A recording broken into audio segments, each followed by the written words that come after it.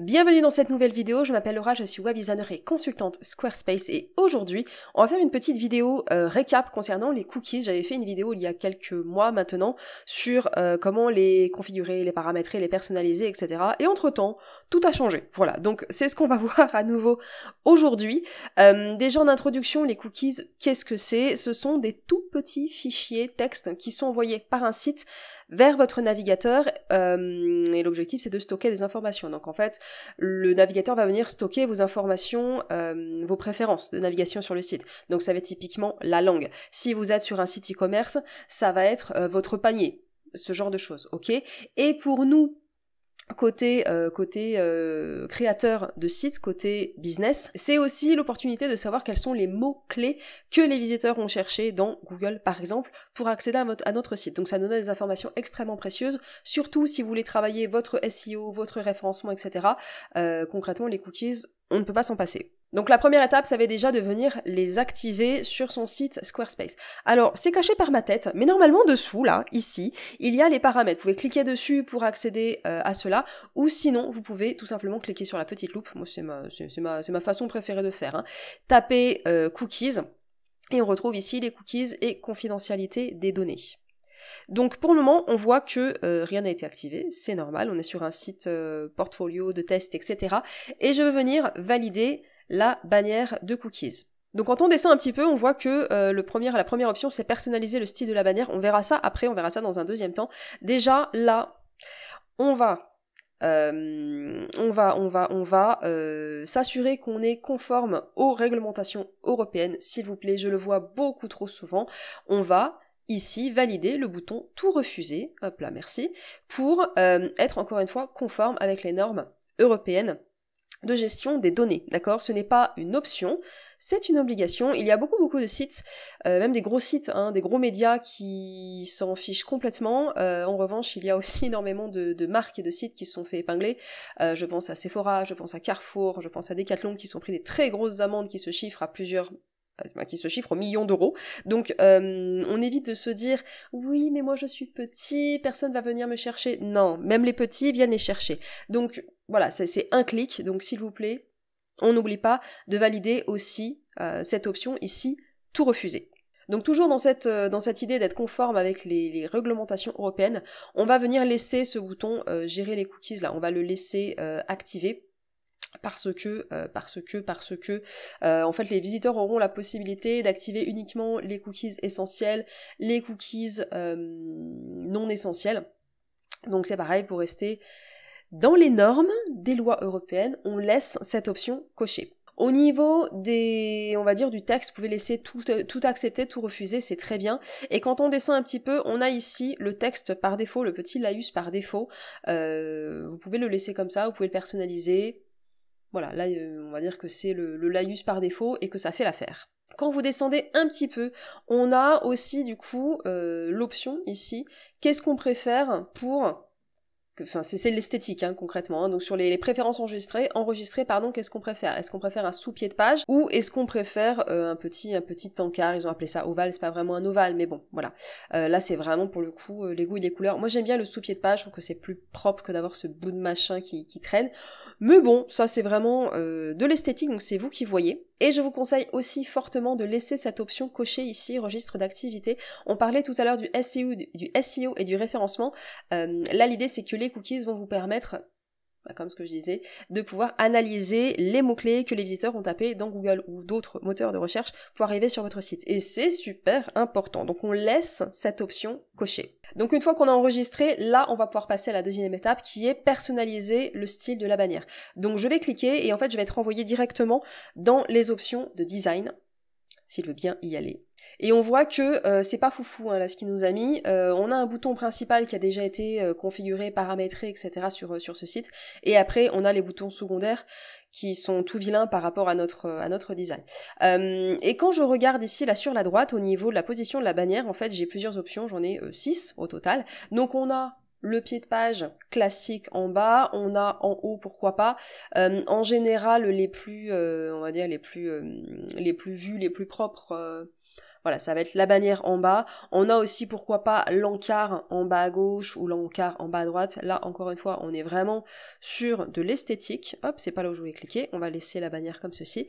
Et en fait, la seule possibilité que vous avez, l'une des seules possibilités que vous avez à ce stade-là, c'est changer la taille du texte, ce qui, est euh, bon, pourquoi pas, on va laisser, euh, va laisser comme ça, par exemple. On valide, on enregistre, et on va aller cette fois-ci modifier les boutons. Donc je reviens dans style du site, je descends un petit peu ici au niveau des boutons et on voit que voilà, on a euh, nos boutons secondaires et nos boutons tertiaires. Et en fait, ce bouton-là, le bouton tout accepter, c'est un bouton principal, comme vous pouvez le constater. Le bouton tout refuser, c'est un bouton secondaire. Et le bouton gérer les cookies, c'est un bouton tertiaire. Ne me demandez pas pourquoi, euh, sincèrement, je trouve que c'est un petit peu... Euh, bon, voilà. Euh, ça peut être intéressant d'utiliser le design, les couleurs, etc. pour inciter les personnes à cliquer sur tout accepter plutôt que euh, de cliquer sur tout refuser. Donc euh, on peut jouer avec voilà les coloris, les boutons, etc. pour inciter psychologiquement le visiteur à cliquer sur tout accepter. Euh, moi ce que je vais faire c'est que je vais gagner un petit peu de temps et je vais ici cliquer sur secondaire et je vais venir cliquer sur faire correspondre au bouton principal déjà première option, enfin première chose. Voilà donc ça commence déjà à peu près à ressembler à quelque chose et je vais faire pareil pour le bouton tertiaire pour gagner du temps et retrouver bah, déjà la même police et puis, euh, et puis le, même, le même style de bouton. Donc on peut avoir un aperçu, je vais cliquer sur enregistrer, on peut avoir un aperçu de ce à quoi ça ressemble lorsque je sors du style du site et on voit que euh, on va carrément sortir de l'éditeur parce que avec la petite flèche à chaque fois quand on est dans la vision éditeur, c'est pas, euh, c'est pas très joli. Bon, là, on est sur un cas un petit peu particulier parce que, comme vous pouvez le constater, euh, j'ai appliqué un effet là avec cette flèche sur le bouton principal et en fait sur le bouton des cookies, euh, ça fonctionne pas du tout, ça fonctionne pas du tout de la même manière. C'est pas très grave. Pour cet exemple, on va, on va faire comme si ça n'existait pas, d'accord? On va, on va ignorer ce point. on va finaliser notre configuration. Et euh, là, moi, ce qui m'intéresse, déjà, je me rends compte que le texte est vraiment très petit, donc on va reprendre ça. Et puis, euh, j'aimerais que euh, ces deux boutons soient en gris et soient pas dans cette espèce de rose qui me pose un peu souci. Donc, je vais revenir dans mes paramètres de style. Je vais commencer par la taille du texte, donc je reviens ici dans la police. Et comme je suis un peu feignasse en fait, et que euh, ça m'agace de venir chercher indéfiniment dans police, en fait ce que je vais faire c'est que je vais simplement sortir de l'éditeur, on va repasser par, euh, la bannière des cookies, ça sera beaucoup plus simple. Hop, on recherche les cookies ici, bannière de cookies, parfait. et je me dis, 6 euh, en fait c'est beaucoup trop petit, donc on va mettre 8, en fait 8 c'était pas mal, c'est ce qu'il y avait au début, j'enregistre. On va juste vérifier que c'est euh, que c'est ok, que ça nous plaît. Ouais, 8. Ok, 0,8 euh, c'est très bien. Donc la taille c'est bon et on va revenir maintenant sur la couleur. Donc je reviens dans style du site, couleur. Et c'est là où c'est pas forcément évident, euh, mais en fait les thèmes de couleur sur cette page, ici là, on est sur du, on est sur du plus clair 1, c'est pas du tout évident. Et quand on descend un petit peu, normalement les boutons sont pas très loin dans la liste, les boutons sont juste là, ok? Donc on a bien ici l'arrière-plan du bouton principal, donc c'est le bouton tout accepté qui est en noir, et on a du coup le bouton secondaire et le bouton tertiaire qui sont dans cette espèce de rose qui n'a rien à voir avec notre identité visuelle. Donc je vais cliquer et euh, je vais venir le mettre dans... on voit que du coup tout refusé et, a changé un petit peu, la couleur a changé, en bon français, c'est mieux. Et puis on va le basculer comme ça dans une espèce de, noir transparent et on va faire pareil pour le bouton tertiaire et on voit hein, visuellement à l'écran que euh, c'est en, train de, en train de changer. évidemment, j'aurais pu choisir une autre couleur de la palette. Là, j'avais pas de gris qui, qui matchait. J'aurais pu carrément aller choisir ici une couleur personnalisée, ça fonctionnait aussi. Donc maintenant, euh, on voit qu'on a pu modifier quoi? On a pu modifier la taille du texte, on a pu modifier la couleur, on a pu modifier le type des boutons, etc. En revanche, ça reste quand même assez minimaliste et euh, on peut aller un petit peu plus loin au niveau de, bah, de ce qui est possible de faire pour personnaliser la bannière des cookies. Donc par exemple, on pourrait changer la couleur du fond, la couleur du background, on pourrait changer la couleur des boutons spécifiquement pour cette bannière-là. Euh, voilà, on peut être assez, assez précis. Et je vais vous donner deux trois, deux, trois petites astuces, deux, trois petits codes CSS pour vous montrer ce qu'il est possible de faire. Et si vous voulez aller plus loin, je vous mets dans la description le lien vers le guide offert, les 5 codes, les 5 codes CSS, les 5 snippets CSS que je copie-colle sur tous les sites de mes clients, où vous allez pouvoir retrouver le code à utiliser pour personnaliser votre bannière des cookies. Donc j'enregistre, je sors de l'éditeur et je vais rappeler l'éditeur CSS. Vous avez vu, je suis une grande fan de, la fonction loop. Hein. Donc avec la refonte de la gestion des cookies, euh, tous les sélecteurs ont changé, comme ça c'est fait. Donc on peut toujours modifier, par exemple, la couleur de fond de la bannière, les, euh, les polices de tels et tels éléments, etc. de façon spécifique.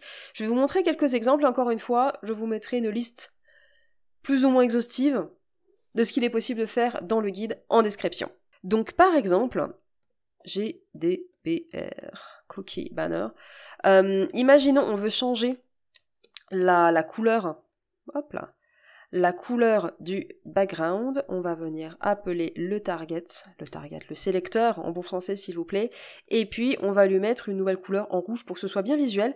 Euh, ce que je vous conseille de faire avec, euh, avec la bannière des cookies, c'est toujours de mettre important parce que j'ai remarqué que sinon ce n'était pas appliqué à 100%. Alors là, on est sur un exemple typique d'un petit bug de l'éditeur CSS. Si vous vous rendez compte que vous faites des modifications et que ça ne s'applique pas, euh, n'hésitez pas à faire un petit clic droit et à cliquer sur actualiser le cadre pour venir euh, rafraîchir la page, hein, en fait, tout simplement. Et là, on voit que du coup, notre couleur rouge, magnifique, a bien été appliquée. Le rouge, c'est un peu, c'est un peu, euh, c'est un peu agressif quand même. Hein. On va juste remettre du gris pour que ce soit un peu plus, voilà, un peu plus, un peu plus doux, hein, à l'œil. On peut, par exemple, venir appeler une bordure, ok, border voilà, border, puis on va la mettre on va mettre 3 pixels pour que ce soit bien, euh, bien visuel pour vous. On va la mettre en vert, ça va être magnifique. Et on va la laisser, euh, on va faire une bordure, on va dire classique. Pareil, j'enregistre, j'actualise. Donc j'ai bien ma bordure verte qui a été appliquée, ok? Donc je vais pas tous vous les faire parce qu'en vrai sinon on va y passer l'après-midi. Donc euh, encore une fois je vous mettrai la liste quasi exhaustive dans euh, le guide en description. Euh, si vous rendez compte qu'il manque un, sélecteur, etc., quelque chose qui n'apparaît pas dans le guide, vous m'écrivez, je le mettrai à jour. C'est un guide Notion, hein, donc je le mets à jour et vous avez automatiquement la dernière version à jour du guide, et ça c'est cool. Autre exemple rapide, on peut changer par exemple la police GDPR, cookie banner. Voilà, on va venir sélectionner le texte on va venir ouvrir nos brackets et puis on va venir choisir une autre famille. Qu'est-ce qu'on va venir lui mettre? On va lui mettre un petit Montserrat euh, classique efficace pour que ce soit bien euh, pareil, bien visuel. Important. Hop, on valide, j'enregistre. J'actualise le cadre. Et on a bien du coup la police, la fonte de notre texte qui a été modifiée. On va s'arrêter là pour cette vidéo. Si ce tuto vous a plu, likez, abonnez-vous. Je publie du contenu autour de la création de sites internet avec Squarespace deux fois par mois. Euh, n'oubliez pas de récupérer votre guide dans la description et puis on se retrouve bientôt pour une nouvelle vidéo. Bye bye